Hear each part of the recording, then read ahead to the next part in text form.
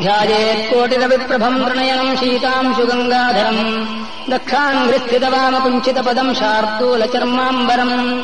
वामकुञ्चितपदम् डमरुकम् वामे शिवाम् श्यामलाम्। कल्हाराम् जपस्रक्षुकाम् कटिकदा